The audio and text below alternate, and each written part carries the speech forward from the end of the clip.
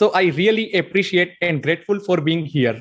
Thank you HITB team for giving me opportunity to share my work from this platform. My title of this presentation is Gazing Ahead, What Modern RF Combat Will Looks Like in the Next Decade. So imagine robotic tanks that maneuver themselves across desert terrain, avoiding landmines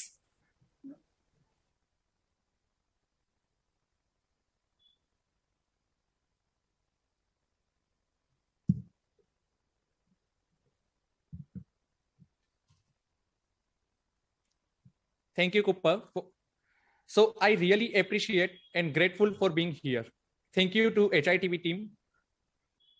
So in this presentation, we will be uh, discussing about soldiers uniform, like what are the different sensors integrated and the IoT warfare, like Internet of Battlefield things, convergence of cyber and electronic warfare, jamming, RF focused drones, counter techniques, and some of the case studies.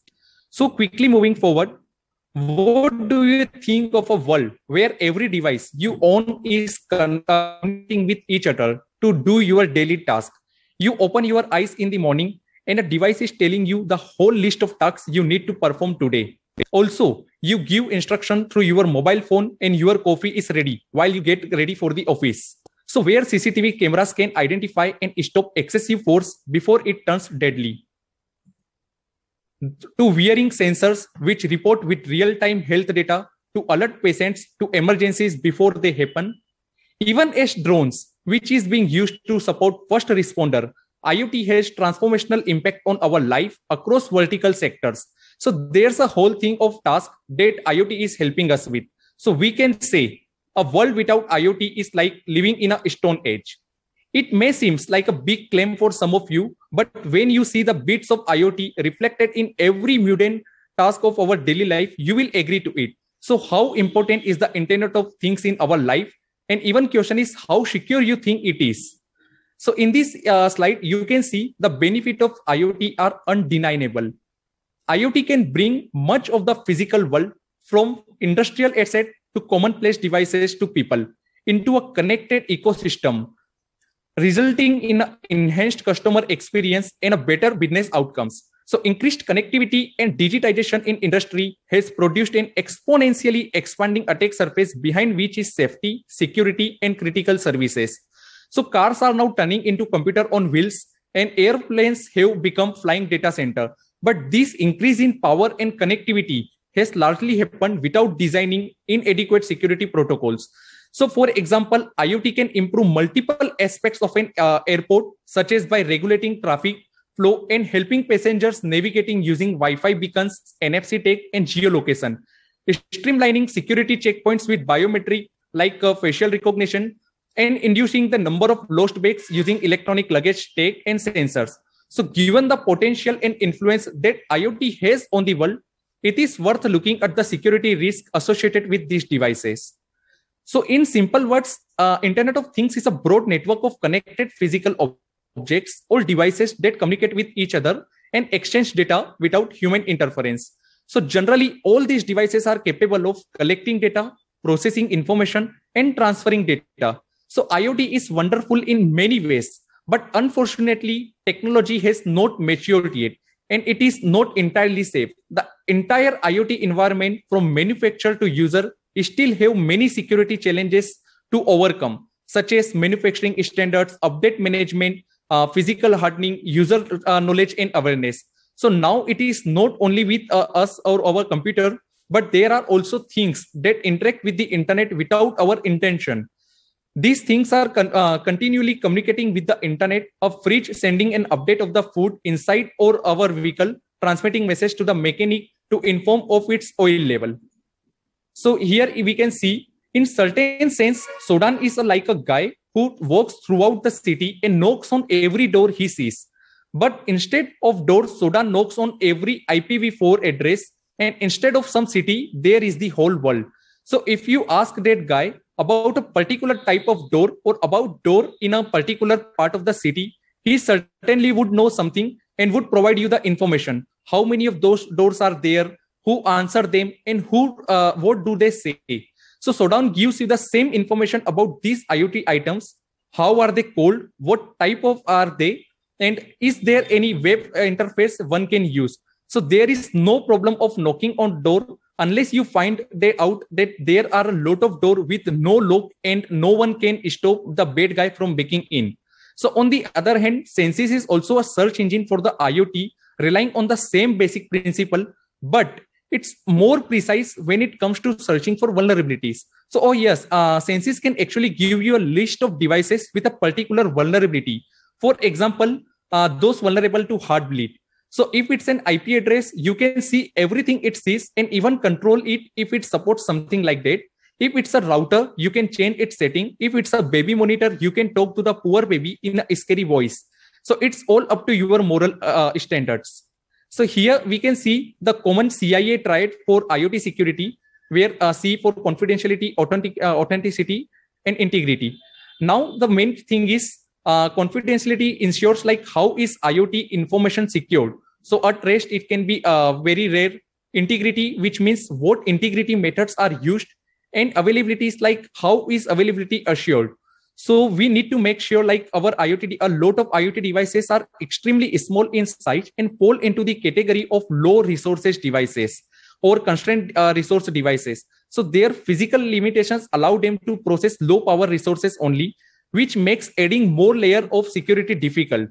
So there is a serious trade-off between security and resources when it comes to IoT. And it's more complicated when we discuss about the Internet of Battlefield things. So uh, ensuring that each device has the control to maintain data confidentiality and integrity within an organization is necessary. So in addition, investigation of IoT security along with data integrity holds practical significance in IoT development. So on the right side, you can see pyramid of pain, which is based on Cisco IoT reference model, and it is evaluated from a vulnerability perspective of the IoT system. So the most vulnerable part of the IoT system with the least impact if suffered an attack is placed on the top of the pyramid. Sensors sit on the top as they are the most vulnerable, being the most accessible part of the IoT ecosystem. The next vulnerable part is the communication between sensors and accumulated data by the sensors the attackers can get access to these data through sensors or by getting into the network. Then comes the hardware abstraction and firmware, which stipulate application programming interface for the interaction between the application and the data. Lastly, the least accessible part at the bottom of the pyramid is hardware platform such as SOAP, FPGA, DSP, and etc. So even through the hardware platform is at the bottom of the pyramid, it is also one of the uh, that deserves most uh, uh, major attract attention before it has the highest uh, damage impact to a system in case of an attack so it can be said that hardware is the foundation of the iot system and the most pain causing part in the case of a cyber attack incident so therefore iot security should begin with the uh, hardware security now let's see some of the case studies like how iot devices can be considered in the defense so for example uh, at a IoT, uh, sorry, Department of Defense fuel depot, tank level, temperature, and flow rates could be inexpensively and precisely monitored. Inventory usage and payment could be easily integrated with the backend uh, business systems. Perimeter security could be enhanced with more inexpensive cameras and motion sensor, like soil, water, and air quality, quality could be continuously measured for leaks or emission. In similar way, with the addition of internet capability, Real-time situational information can be relayed to command and support facilities remotely from the battlefield. But if enemy takes advantage of vulnerabilities in such devices or networking or compromised devices, it may allow the enemy to provide false information to the war fighters and the supporting remote organization. So clearly, it's important to prioritize addressing the highest risk vulnerabilities already installed in mission system, such as ensuring that the information is encrypted where needed, implement policies and uh, processes to ensure supply chain risk management of a broader array of potential devices that could be deployed with our uh, troops. Uh, another case scenario can be of battlefield situational awareness. So very small size and low cost of sensing and communication devices makes them ideal for deploying in low power network in forward situation to provide war fighter with enhanced situational awareness. Now the threat can be imagine that the enemy takes advantage of these vulnerabilities in the devices or networking, hacking into or compromise. So they can easily get information like what are the uh, what's going on the other side of the uh, battlefield. Now, uh, let's understand what is RF. So RF signals are a form of electromagnetic wave, such as visible light, which makes up a portion of the electromagnetic spectrum. This EM spectrum encompasses all forms of light, which ranges from audible frequencies such as the ubiquitous uh, 60 Hz through the standard radio band, which include AM radio, FM radio, TV channels, and other RF band. So the spectrum continues through infrared, visible, and ultraviolet light to higher form of EM energies like X-ray, gamma ray, and cosmic ray. So radio, uh, radio frequency can be a complex subject to uh, navigate, but it does not have to be. If you are just getting started with radio, or maybe you cannot find that old reference book about antenna aperture, this session will help you. It is intended to provide you basic understanding of RF technology and what are the future threats which we need to address. So let's see some uh, what basically lights inside the radio wave spectrum. The following frequency allocation chart here shows various commercially used devices with their application and frequency based on the NTIA and FCC. Here you can see FM radio operating on 100 MHz, the GPS and cell phone somewhat near to 900 MHz, while ADSB signal on frequency 1090 MHz, which can directly capture from uh, RTL devices and 2.4 GHz bandwidth, which is used by more than 300 consumer devices, including microwave oven, cordless phone, and wireless network uh, like Wi-Fi and Bluetooth. So invisible and ignored, our devices are currently screaming out large amount of information about us, our habit, our pattern of life to anyone who care to listen. So let's see some example of what is commonly being broadcasted and what can be done with this information. So I think like we already know this kind of attacks. So I will uh, quickly move forward through it and uh, I will discuss about the uh, from the defense perspective more. So uh, basically, we think about the uh, signals in two domain: time domain and frequency domain. Time domain, when dealing with the world of radio frequency communication, often there are two families of instrumentation used for measuring radio operation and performance. The first family is represented by the time domain measurement, such as the amplitude of a signal over a given time, typically which is measured with an oscilloscope these instruments also include basic digital meters, power supplies, and other related equipment. Time domain instruments are usually utilized when analyzing baseband performance, power supply uh, operation, current draw, etc. Meanwhile, frequency domain, which is a, since a uh, majority of the RF communication performance parameter regulations and design constraints are measured in the world of frequency domain, measurement usually take the form of power versus frequency. So typically measured with a spectrum analyzer.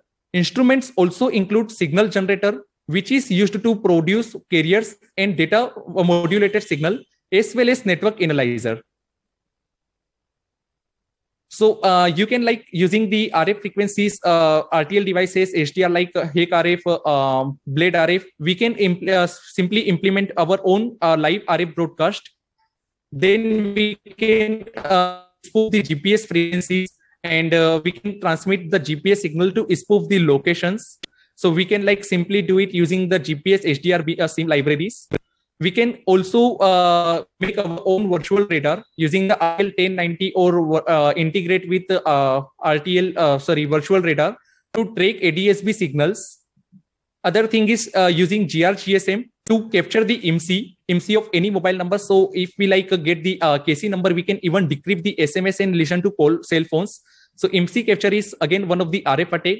Uh, another attack is like a replay attack, which can be implemented uh, against the car. Another is like uh, you can uh, record the signals and you can replay. So you can hack into the smart lights. So we all know like Wi-Fi uses radio to communicate, but so do the other 99 plus protocol that make up the world of mobile, cellular, and the Internet of Things. I have not discussed those uh, slides before uh, in a practical way because we have already did the presentation on uh, those things. So uh, I will be discussing about from the defense perspective. So all these new radio enabled devices bring with them new invisible threat. Enterprises will need to be able to react to new threats entering their environment through the internet of radio so some of the basic attacks can be RF attacks can be sniffing, war driving, evil twin attack, replay attack, uh, firmware update exploitation, jamming, uh, physical layer protocol abuse, or MAC layer uh, channel reservation abuse. So we often hear about the danger of dark web, but the internet of radio is not merely dark; it's invisible. So any wireless network is going to have a few security risks. So it is important to address them. Now the first issue is that the fact that the sensors are broadcasting all the information they have continuously. and adversary listening into the network could easily see all the information which is being broadcasted or even worse fabricate their own data to confuse the clustering algorithms the other issue is that an adversary listening to the network could attempt to flood the network with packets to prevent the sensors from transmitting their data like DOS or DDoS attack so in a press conference in 2016, NATO allied ministers formally agreed to include cyber operation in its war domain, along with the air, land, and sea operation, and to amplify the defense of its computer network. So, declaring cyber as an official domain of warfare allows NATO to improve planning and better manage resources for cyber defense operation. So, what does it mean? Is like uh, NATO can now answer to any cyber attack sorry any kind of attack with the air land or sea attack. So if there's any conventional cyber uh, attack they can answer with weapons as well. Now the military face a new reality one with multi-domain challenges. The way military build its forces integrate its planning and synchronize its operation must change quickly. So in modern military lingo there are five interrelated domain land maritime air space and cyberspace now the cyberspace domain is wholly man-made and is ever changing. So in the emerging multi-domain reality, an attack will come from multiple domains simultaneously. Jamming of radio and data link, persistent surveillance, and precise long-range fire. So military needs to instill to its commander the ability to deal with ambiguity and incomplete information. The fog of the war in digital age. So yet continue to operate in a manner consistent with the intent. Now, so there's a famous quote from the book Art of War by Sun Tzu. There are not more than five musical notes, yet the combination of these five gives rise to a more melodies that can ever be heard. There are not more than five primary colors, yet in combination they produce more hues than can ever even be seen. There are not more than five cardinal tastes, yet combination of them yield more flavors than can ever be tasted. So now we can imagine about the results from convergence of ground, airborne, naval, space, and cyber. So uh, as we examine history, it becomes almost incredible that we would not have anticipated our great social media platforms to be infiltrated and weaponized against us. So here we will be seeing like some of the basic uh, few uh, history of electronic warfare. So electronic warfare has come a long way from the early days of basic signal intelligence and has conveyed a wide variety of technology and use cases, like starting from the uh, Russo-Japanese War in 1904, uh, 1904, where the birth of signal, which is also told as the birth of signal intelligence. So Japan ability to intercept and analyze Russian naval transmission played a significant role in the eventual Japanese victory. Then uh, moving forward, like uh, it was used by the UK as well uh, in 1940, like the Battle of Britain, uh, tuning the tide with radar so using a new breakthrough in radio transmitter, the resonant cavity magnetron and detector arranged a range at different heights and angles to pick up the reflected uh, radio waves bouncing off enemy uh, aircraft. RAF fighters could be quickly intercept, uh, directed to intercept. Again, uh, in like a Cuban missiles uh, crisis in 1962, uh, they dis- for the deceptive drones, they have used the EW, the electronic warfare. So equipped with an early form of electronic deception, drones narrowly missed featuring in one of the Cold War hottest moment. The plane was uh, the plan was for unmanned Ryan model 147, which is fitted with receivers for Cuba's Soviet-built uh, surfaces to air missile and to overfly the island. So uh, even like uh, uh, this was used for in the uh, Vietnam War. Some of the other attack was like in a Battle of Latakia, where electronic warfare even goes to the sea and the Stuxnet uh, Gulf War, where the GPS at war. So while targeting uh, and tracking uh, smart uh, smart missile guidance, the Gulf War highlight, highlighted the susceptibility of GPS to jamming, with even some relatively unsophisticated devices providing capable of masking the weak signal from the system's capability. So GPS still remains vulnerable to jamming and spoofing today. Now let's see like what happens in the future, like the, in the quantum superpower because like quantum technology could be game changer across the globe and along for the world of EW application. So as we currently know them, quantum communication systems are inherently secure. Quantum radar can see through stealth. Quantum metrology offers an unjammable uh, navigation and quantum cryptography promises an unbreakable, uh, uncrackable codes. So the fight to master quantum technology could render its adversary EW systems redundant overnight, and China clearly wants to win that race. So uh, modern military forces are required to operate in an increasingly complex electronic uh, electromagnetic environment, which has recently been or, or recognized as an operational environment. So all modern forces conduct operation that depend on the use of EME. The recognized use for the military forces to have access to and utilize the EME creates vulnerabilities and opportunities for EM uh, spectrum warriors. So therefore, a new operational discipline has been set up accordingly, named electromagnetic uh, electromagnetic spectrum operation or EMSO. Uh, here you can see like uh, EMSO consists of not only traditional electronic warfare but includes several other disciplines which operate in electromagnetic environment, such as signal intelligence as part of information operation, spectrum management and cyber electromagnetic activities. Electronic warfare remains the most uh, main combat discipline of EMSO. The other thing is signal intelligence is included in the wider framework of information operation and refers to the ability to exploit signal, data, and information that rely on the use of electromagnetic uh, spectrum as a physical layer. So EW techniques use electromagnetic energy on a targeted frequency, effectively dominating the insurgent's ability to understand, sense, hear, or communicate. So EW technology can also address remote control uh, improvised exploitative devices where sophisticated electronic countermeasures jam the control signal and prevent detonation by telephone, radio controlled toys, or other uh, radio jamming emitters. So uh, electronic warfare is divided in three domains, which is electronic attack, electronic protection, and electronic support. Here, electronic uh, uh, warfare, it comes like uh, military operations are executed in an information environment, which is increasingly complicated by the electromagnetic spectrum. Now it is also called like ESM, ECM, ECCM, uh, which means like electronic support measures, electronic countermeasures, and electronic counter countermeasures. So elements of uh, command and control warfare or for the military deception, uh, for the physical deception, we use this kind of takes. Now, electronic attack uh, involves the offensive use of uh, EM energy, directed energy, or anti-radiation weapons to attack personal facilities or equipment with the intent of degrading. So, some of the things uh, which comes under uh, electronic attacks can be electronic intelligence, like uh, foreign non-communication electromagnetic information. Uh, comment can be uh, communication intelligence, which works to, like to uh, identify if there's any uh, foreign communication transmission which is intercepted by other than the intended uh, recipients.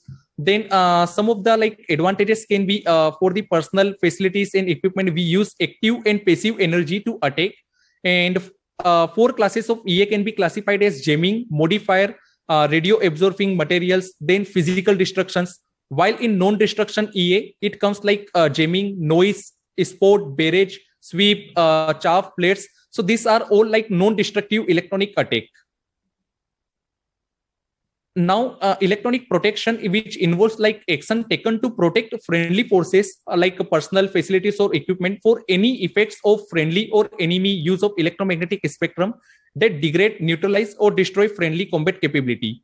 So here we can see uh, army trainers successfully used cyber weapons and electronic warfare technology to thwart a simulated tank assured a training exercise conducted at the army national training center at fort irwin so the exercise reinforced the need for the EW and cyber protection technology that is under development by entities such as uh, Army Rapid Capabilities Office.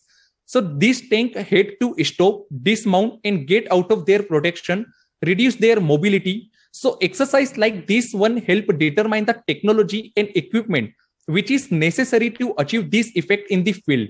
If we don't win the cyber and electronic warfare fight, then the next maneuver may not matter because we may not get to it. So while interference generally describe unintentional form of uh, disruption during wireless communication, jamming describe the deliberately interference with the blocking of such communication. So as the name suggests, jamming antennas are especially used to interfere with the radio noise or signal. So in electronic warfare, these interference are meant to disrupt control of a battle. For example, jammer radiate uh, interfering signal toward an opponent radar, blocking the receiver with high concentrated energy signals. So the two main jamming techniques are noise technique and repeater technique. Spot jamming, sweep jamming, uh, barrage jamming are three most common types of noise jamming, whereas DRFM jamming is the most uh, common type of repeater jamming. So in spot jamming, like uh, we do the kind of noise jamming where jammer focuses on all of its power on a single frequency, rendering the technique ineffective against a frequency agile radar. So sweeping uh, jamming is the process of sweep, uh, shifting a jammer full power from one frequency to another. So this sweeping motion jams multiple frequency in quick succession, although not all at the same time. While meanwhile, barrage jamming is the jamming of multiple frequency at once by a single jammer. So the main drawback of this technique is that the jammer spreads its power, uh, power across multiple frequency, making it comparatively less powerful at a simple frequency, uh, single frequency. So now the question is, uh, how can we secure ourselves and how do we communicate while someone is like doing a jamming attack on us? So wireless digital, uh, wireless digital communication system generally employ radio frequency signal to transmit information. So transmitter needs to convert digital signal uh, messages, which is represented in bits to RF signal, while receiver convert this received RF signal back to digital messages. Now on the transmitter side, upon receiving bits from upper layer, the transmitter first modulates them to discrete baseband signals, then converts them into analog signal using a digital to analog converter, and finally up convert them to RF signal. So these RF signals go through the wireless channel and reach the receiver Upon receiving the RF signal, the receiver performs the inverse processing. It down converts and sample the received uh, signal to receive baseband signal and then demodulate them to bit. So in ally-friendly jamming, upon detecting a, a transmission, the authorized device can employ proper signal processing techniques to remove the jamming signal from the received mixed signal. So in contrast, the unauthorized device does not have the secret key and cannot remove the interference which is introduced by allied jamming signals. Now in figure 2, uh, you can see for, uh, which further illustrate like uh, ally friendly jamming where one ally is presented for simplicity. So assuming the ally jammer, the unauthorized and unauthorized devices all are in the same area. So as mentioned earlier, the ally jammer and uh, authorized jammer including A1, A2 and AJ in figure which share a secret key K. The ally jammer AJ, which uses a pseudo random number generator with K as the seed to continuously emit jamming signal X of J. So when the unauthorized device E1 transmits signal to X of E1 to another unauthorized device E3, the signal received by E3 will be the mixture of both X of E1 and some portion of X of J. With enough jamming power, the jamming signal from A of J can effectively distort the signal X of E1 at E3. So as a result, the wireless communication between unauthorized device E1 and E3 is disabled. When A1 transmits signal X of A1 to A2, the jamming signal X of J will also distort the received signal at A2. So however, uh, this like to remove X of J from the mix signal, authorized devices need to synchronize with the allied jamming signal, estimate their values in the mix signals, and remove them from the received mix signal to recover meaningful transmission so this is how like we exactly communicate between uh, when there's some kind of uh, jamming attacks which is being performed. So in real time scenario uh, after the designation like which is received by external rwr that analyzes the victim radar signal for key parameter the jammer performs the actual following actions. That generate ecm signal which is intentionally by independent oscillators such as vco so uh, here you can see the EA-18G Growler, which uses a powerful electronic attack jammer to blind enemy radar and protect allied aircraft during missions into hostile territory. So unfortunately, the very high energy from the jammer also blocks onboard communication. So InCans like uh, collects a sample of the jammer interference and uses that sample to create an inter, uh, anti-interference signal, which it then uh, mixes into the receive path of, for the protected radio, the result of mixing the interference and anti-interference is that they cancel each other out, leaving only the desired reception. So this is the real-time scenario like where this uh, signals is being used. Now we can see uh, radar performance and frequency bound. So uh, radar is like most most probably the there are few factors which affects the radar performance. Some of them is radar power, frequency change, pulse rate, the kind of antenna we are using, and the scan pattern. So scan pattern, which means like uh, influence of amount of energy which is directed towards the target radar. Uh, again, like the propagation will depends the kind of receiver we have, the kind of transmitter we have. So these are some of the factors on which uh, our parameter, uh, the received power will depend. So let for an example, if we are transmitting in 100 kilowatt uh, of power uh, from the transmitter, so after like let's say if it's on a distance of 10 kilometer, we will only receive the power in picowatts. So rest all of is like gone in the reflection, propagation, the environment factor, and everything. So here in this image, uh, you can see some of the RCS for the uh, major uh, war fighters. So radar cross section is like a measure of how detectable an object is by the radar. So therefore, it is called electromagnetic signature of the object. Now, a larger RCS indicates that an object is more easily detectable. An object reflects a limited amount of radar energy back to the source. The factors that influence this include the material of the target which is uh, made, the size of the target relative to the wavelength of the uh, illuminating radar signal, the absolute size of the target, the incident angle, the polarization uh, of the transmitted and received uh, radiation. So while important in detecting target, strength of the emitter and distance are not factors that affect the calculation of an RCS because RCS is a property of target reflectivity. So here we can see like the example of B2 Spirit, F-22 uh, Raptor, uh, F-35 Lightning. So while no aircraft is totally invisible to radar, stealth aircraft make it more difficult for conventional radar to detect or track the aircraft effectively. So in addition to reducing the infrared and acoustic emissions, a stealth vehicle must avoid radiating uh, any other detectable energy, such as from onboard radar communication system or RF leakage from electronic enclosure. Now, modern military forces rely heavily on a variety of complex, high technology electronic offensive and defensive capability. So, traditionally, cyber and electronic warfare were distinct entities. But now, cyber warfare involves action by a nation state or intense international organization to attack and attempt to damage another nation's computer or information network through. So, for example, computer virus or a denial of service attack the military has already designated cyberspace as the fifth domain of war. So, along with four physical domains like air, land, and space, and it's mulling making the electromagnetic spectrum the sixth domain. So, the cyberspace operation are the employment of cyberspace capabilities. So, here you can see EW has been a sleeping beauty hidden away and forgotten for a generation.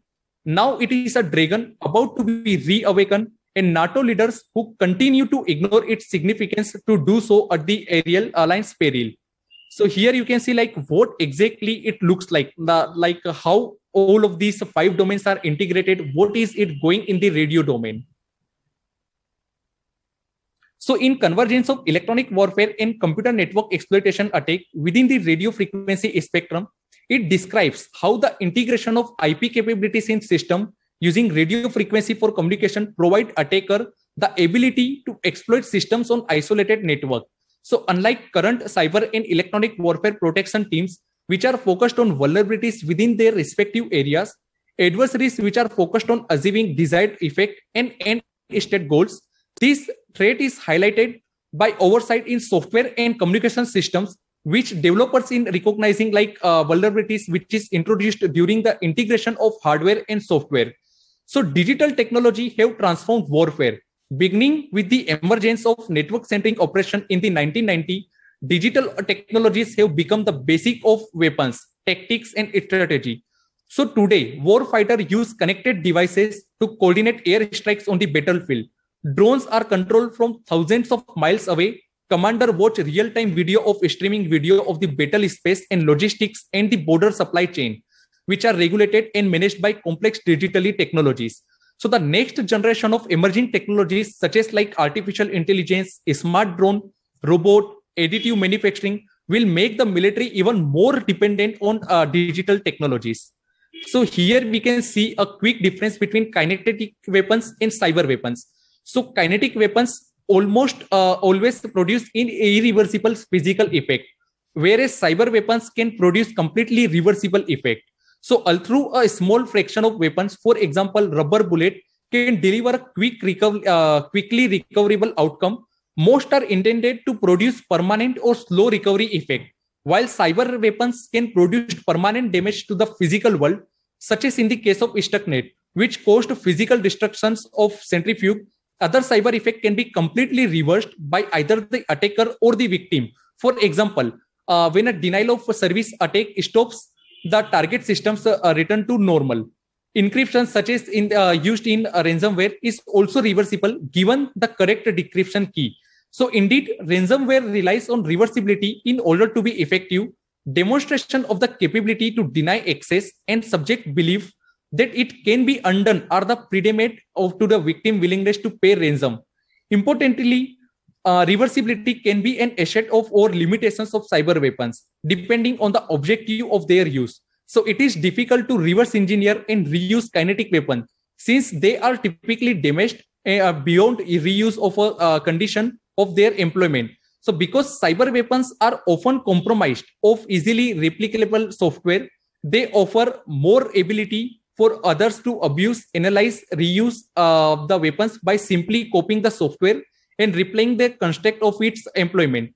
Whether separately or combined, cyber and kinetic weapons are now available as strategic instruments of power and present novel opportunities for pursuing national objectives. So, given the short history of cyber warfare, many opportunities remain to uh, for future work to deepen the understanding of cyber weapon. As leading gain uh, experience and uh, expertise with cyber weapon, it can be integrated with combat and gray zone options will be strengthened. So here you can see like command and control, why it is most important. So one might consider like C3I is the brain of modern warfare. So if C3I systems are considered the brain, then battlefield sensors are actuators. The Internet of Battlefield things are the key and ears and uh, military maneuver, the hands and the feet. So it is the preservedness of IoT devices that will essentially makes the eyes, ear, hands, and feet uh, inseparable from the brain. So we often think like command and control as a distinct and specialized functions like logistics, intelligence, electronic warfare, or administration with its own peculiar methods, vocabulary, and occurring independently of other functions. But in fact, command and control encompasses all military functions and operation, giving them meaning and harmonizing them into a meaningful whole. So done well, command and control adds to our strength. Done poorly, it invites disaster. So even against a weaker army, now command and control help commander make the most of what they have for people, information, material, and often most of all the time. So here you can see uh, now it's time for cavalry to get serious about the cyber reconnaissance. The whole art of war consists of understanding what is on the other side of the hill. So in this new world, much of the information essential to effective tactical decision making may appear in cyberspace long before it is extracted through the dangerous and painstaking process of air and ground reconnaissance. So such an information uh, important shift requires a reframing of our traditional approach to reconnaissance. It is uh, is it now necessary to expand the concept of military reconnaissance to include the cyber domain? If so, how should such a capability be organized in the military? Who should do it, and what are the hazards with such an, uh, an approach? so there are many case studies like uh, we can like use the crowdsourced surveillance in the future of internet so let's say uh, for example by 2030 more than 125 billion computers sensors and iot devices will be connected to the world wide web roughly 15 for every person's alive so by that time nearly 80% of the data which is moving on broadband network will be video it is reasonable to assume that these trends will combine to create a ubiquitous network of crowd source surveillance where nearly every event in a public space is recorded and uploaded on the uh, web by private, commercial, or government actors and commercially used uh, owned IoT devices. Now, some of the uh, modern equivalent of the World War III era warning that loose lips sink ships. Maybe FFS don't share your Fitbit data on duty. So let's consider the uh, this interesting case study where the fitness data company Strava recently came under fire when it was discovered that its global heat map which aggregated millions of geotrack devices, inadequately relieve, uh, revealed the location and outline of US military bases in conflict area.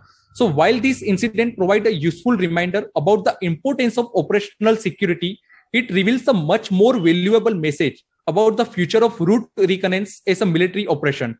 So moving a large military force over an unfamiliar tra- terrain presents a formidable challenge.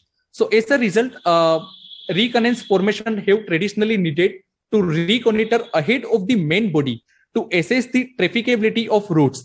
Like Strava, modern digital map applications on most smartphones uses a process of extracting locations from cell tower to determine rate of improvement along roadways. Over time, this anonymized data provides a useful pattern that can show where vehicle traffic is unrestricted, moderately restricted, or impassable. It can therefore be a powerful tool to augment um, the often dangerous task of ground route reconnaissance. So in addition, we are merged with ground moving target indicator from aerial reconnaissance platform. This data can also be provide a useful analytical tool to distinguish between civilian and military vehicle movements. So many locations of the military and intelligence SNG bases had already been previously revealed through many other publicly uh, sources. But the bigger worry from an operation security standpoint is how activity data from IoT devices could be used to identify interesting individual and track them to other sensitive or secretive locations. So history suggests that many of the uh, most significant advances in military technology began first as commercial technology. So radar, for example, was originally developed as a tool to avoid ship collision during limited visibility but now it's highly sophisticated for defense purpose. These emerging categories for of cyber tools like social media, GPS enabled IoT devices, uh, satellite imagery database from public repositories like DigitalGlobe, which estimates to restrain a data set of uh, 1 lakh TB terabytes are already available in commercial market. With adaptation might provide a real advantage to reconnaissance formation. And the biggest dangers may come from potential adversaries figuring out patterns of life so by tracking and even identifying military or intelligence uh, agency personnel as they go about their duties or when they come uh, home after deployment these digital footprints that echo the life, real life steps of individual underscores a greater challenge. Each person's connection to online services and personal devices make it increasingly difficult to keep secrets. So too often we think secrets lie hidden. When they now are mostly open out in the open most both militaries and the public need to be come to grips with the fact that the era of secrets is arguably over. So the focus of the Internet of Battlefield things is to provide situational awareness of the battlefield, which is utilizing a network of interconnected sensors, actuators, and analytical devices. So sensor, uh, sensors could detect enemy movement and they relay that information in real time to analysts so enabling them to take uh, tactical decisions on positioning areas to avoid or who is crossing a certain area. This capability would potentially save resources and soldiers' life. So making IOBT an important topic for the defense to investigate. And of course, there's a lot of other buzzwords surrounded by this Internet of Things and the industrial Internet of Things.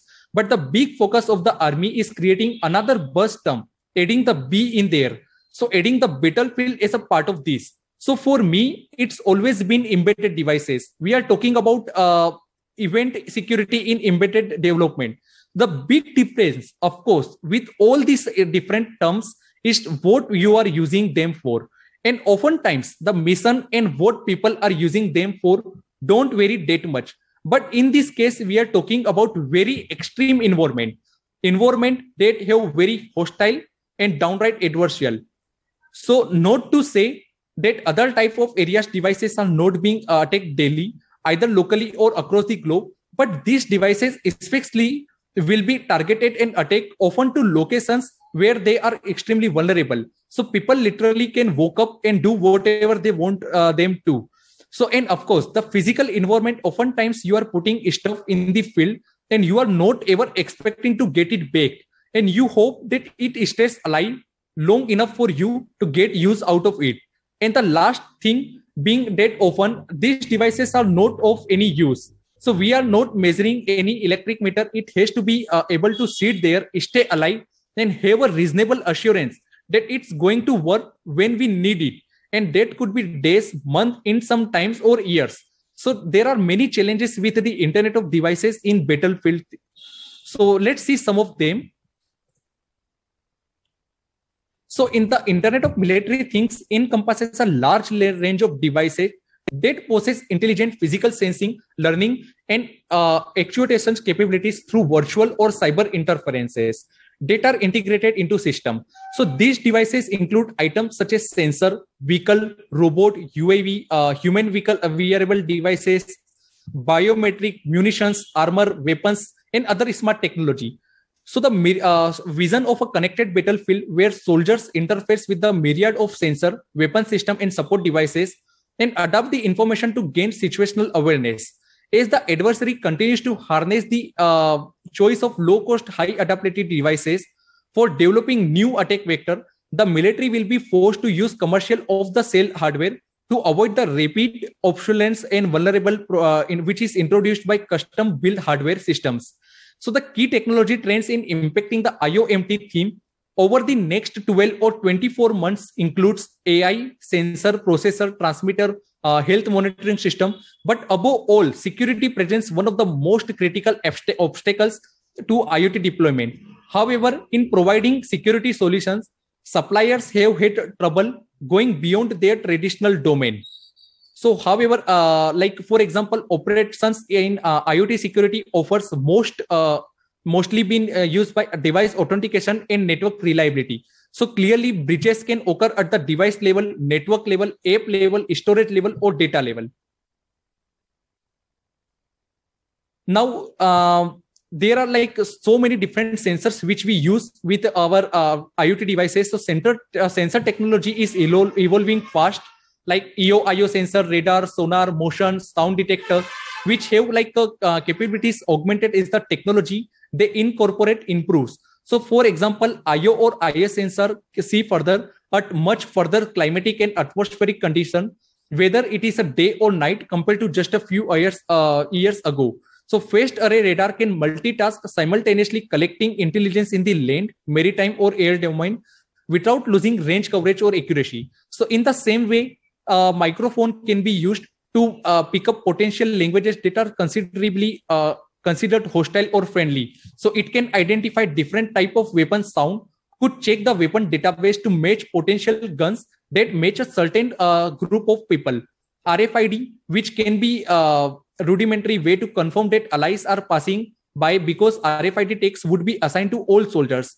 Camera like low quality can be used for discerning color patterns of uniform, while high quality could be used to take a snapshot of object moving in the uh, field of view we may consume like store uh, startup uh, we need to like send images uh, and there are few challenges as well. So gps can be used to track locations of sensor uh, sensors which is registering events. Uh, rf which is like to track radio frequencies over the area of inter- uh, interest. We can use like infrared or thermal sensors to detect heat signature or notify the other sensors to start collecting information. Vibration can sensors can be used in battlefield to detect vibration and stress, which is experienced by the sensors um, for to identify friend or foe, which is used by military in conjunction with radar to discern friendly and civilian vehicles and military units. Um, then again, like magnetor, PIR sensors, ultrasonic. So there are many view, uh, potential uses of IoT sensors in the battlefield, and some of them are like in this image. You can see how they are integrated in the uh, military, uh, like the uniforms so the combination of multiple radio, wearable like smart watches and glasses, biosensor, GPU, uh, GPS equipment, these are all some of the gear arming soldiers with life-saving information and creating unprecedented visibility into their surrounding. So our current and future soldiers are only as good as the communication that shared between them. So the sharing of the information wins the fight, not the biggest or best bullet.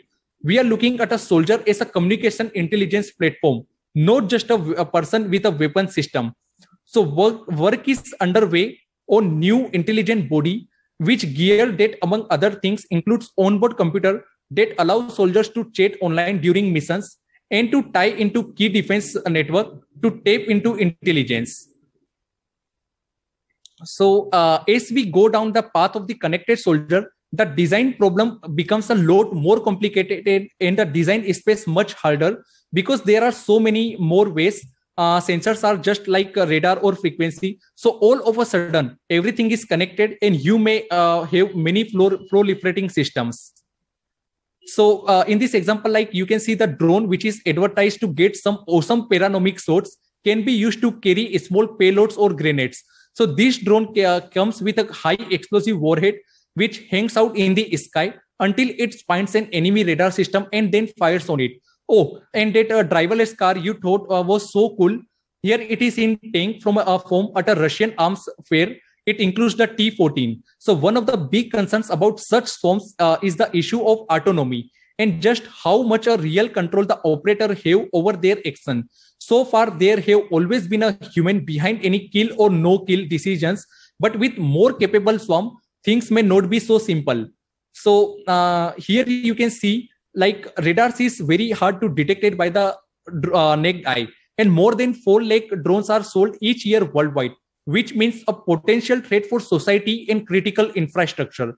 Illegal filming of ob- uh, secret object as well as personal privacy is very common. So the applicability of drone detection and identification methods depends on requirement mandated by real life scenarios.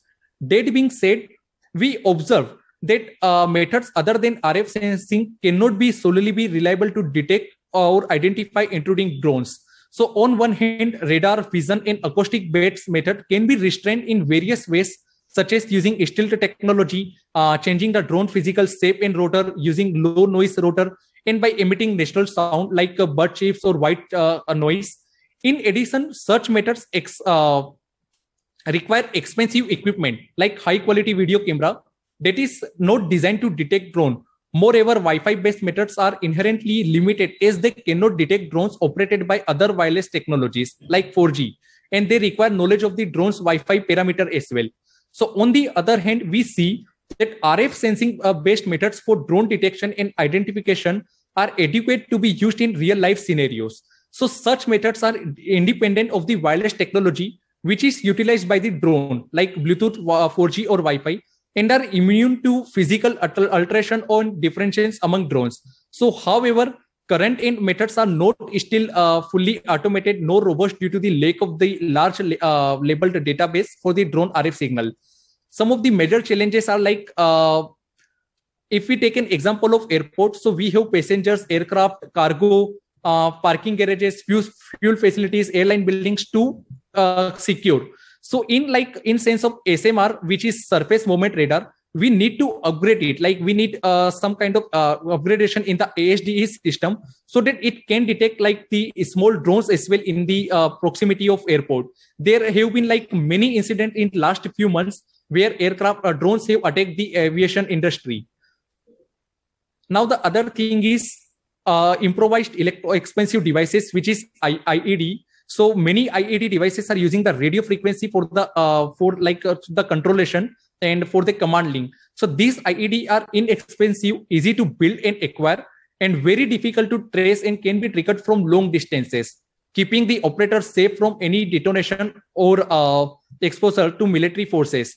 So RC-IED is simply uh, explosive material that is integrated with a handheld wireless devices or device that will trigger upon receipt of a signal from a second wireless handheld devices.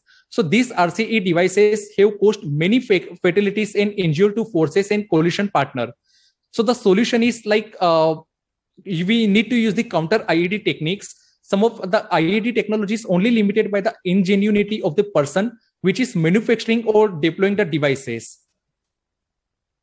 Now some of the uh, okay we are running out of time, so I will quickly move forward. Um, so the moving portray a war in space, such as the uh, they do on Earth. Starfighters dogfight with unlimited maneuverability and range. Troops transgroups like uh, uh, from orbit to celestial surfaces to deliver space marines. So how do we think about a space war? War fighting on Earth typically looks uh, involves competitors fighting to dominate a physical location, opposing military forces like to fight to take control of the land, sea, and air over a certain part of earth to expand influence over people or resources so space warfare does not follow this paradigm satellites in orbit do not occupy or dominate a signal location over time. Instead, satellite provides capabilities such as communication, navigation, and intelligence catering to Earth-based militaries.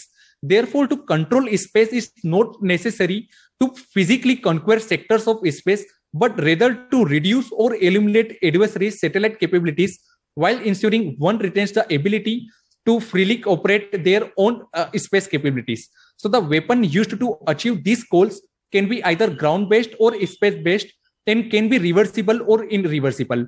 So the furthermore, space weapons uh, type like ranges from kinetic weapons, much which must physically affect a target, to standoff weapon, which can reach a target many miles away. So kinetic physical counter space like which involves uh, directed ascent set, co-orbital ASAT missiles, ground station attack. Meanwhile, non-kinetic attack involves electromagnetic pulse attack, high-powered laser, and high-powered microwave. So non-kinetic weapons are all RF based, and that are like going to be the future of uh, defense. So weapons have physically effect on satellite or ground systems without making physical contact. Lasers can be used to temporarily dazzle or permanently blind the sensors on satellite or cause components to overheat. Uh, meanwhile, like high power uh, microwave weapons can disrupt a satellite electronics or cause permanent damage to its electrical circuits. Meanwhile, we can also see like uh, in counter space weapons, we have electronic warfare techniques such as like jamming and spoofing. Meanwhile, on cyber attack, we can like perform attacks such as uh, data intercept monitoring, uh, data corruption, or seizure of control. So uh, we have already discussed about the electronic warfare, so we know like how the jamming and spoofing is performed. Now, the to understand like how this effect could play in a conflict, there are couple of key which is important to understand. So the inter, uh, intensity uh, dissipation, which is an electromagnetic signal, whether radio frequency or light, is emitted from a source. The intensity of the signal decreases with the square of the distance from the source. So the farther away, the weaker it is. An object 10 kilometer from a surface will experience only 1% of the intensity of an object next to the source. So for satellites in orbit, where distances are often measured in hundreds or thousands of kilometers, a trade would require uh, need high power level to successfully engage with electronic warfare or directed energy weapons. So signals in a vacuum only uh, lose strength due, uh, due to a distance. However, when a signal goes through the atmosphere, gases such as water vapor and oxygen absorb most of the intensity. Uh, liquid water also decreases signal strength at many frequencies. This means that a ground to space or surface to ground attack will require more power than a space to space attack of the same distance. Now, precision, which is like uh, electronic warfare, requires a large degree of precision to execute. So, in this con- uh, context, precision refers to how well an attacker can match the signal or focus on its target. So, for a jamming attack to be successful, the attacker must transmit a jamming signal that matches the signal of the target receiver. So even through a jamming uh, a large block of signal in hope like of hitting uh, the right signal. So or through simply uh, matching the targeted signal. Now matching a signal is a combination of achieving the right frequency, polarization and signal strength. The frequency of the signal refers to the number of time the signal oscillates through space. Meanwhile, spoofing attack require even harder, uh, greater precision. In addition to matching the uh, signal frequency, polarization and signal strength and a spoofer must also broadcast the right type of information on this signal. So as an example, uh, suppose an attacker wish to use spoofing technique to transmit false troop location to a targeted system. So for the attack to work, the spoofer must know what signal to broadcast and give data that is close enough to the truth so it is believable. So the attacking spoofer must thoroughly understand both the signal itself and how the signal is interpreted by the targeted system to be effective. So the more we can in, uh, intensifies these insights, the better we can understand the stakes of a geopolitical uh, fights in space. So for example, a one kiloton device uh, is believed to be strongest if detonated at around 25 miles from the Earth. So if detonated much higher, the electromagnetic pulse would dissipate too much. If too much detonated uh, much lower, deep inside the earth atmosphere it would not produce an emp of consequences at all so like all of the electromagnetic uh, all of the electronic devices which we are using will go off So in uh, as we are already running out of time, so where the military has been a driver in connected in machine to machine communication, such as radio frequency identification, it has been slow to adopt true IoT application that need this communication into interoperable automated cycles. So communication remains within their uh, given challenges, not easily said or aggregated. So the challenge is that defense leader wishing to take advantage of the IoT face of complex technological and regulatory landscape that threatens to mire their efforts in endless choices and challenges. So the army has done a lot of work on system that can work without a constant uh, internet connection to get around this. But because they are not linked to the internet, they have limited uh, limited utility. But all of this expanded connectivity and technology brings a host of risk too. So for one, creating Wi-Fi enabled uniform and weapon could give enemies many more digital target. If malicious hacker can manipulate sensors to fake chemical attack, those false signal can be deliberating. So then and now it is hard to overstate the importance of information to military commander everywhere. While the rest of the world was waking up to the internet in 1996, the military, for example, was already outlining plans for information superiority. So with information so central to all activities, the military is uh, naturally hungry for uh, technology or tools that improve communication, routing, or processing of information. So uh, these are all the peoples like I am really thankful for their research, their work uh, standards uh, uh, and academia. So you can follow them on and read this paper in conclusion, I will say like the combined effect of non-federated network, encoded data on the network, or increased use of wireless devices and advancement in high power jammer will continue to push the realm of cyber electronic warfare.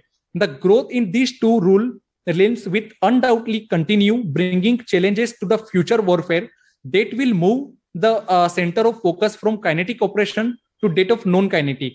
The threat of overpowering cyber and EW forces will likely generate increased funding of uh, non-kinetic research in a shift in operational mentality. So could this be the next Cold War or just the unseen war? So uh, this is all about me. Uh, you, if you have any questions, you can reach out to me either on email or uh, you can uh, tweet me. Uh, thank you for your attention. I hope you enjoyed my talk. If you have any questions, I will be in the HITB studios in five minutes where I will be happy to answer them. Please ask your questions on the Discord channel. Otherwise, you can always reach out to me on my LinkedIn and Twitter. Thank you so much.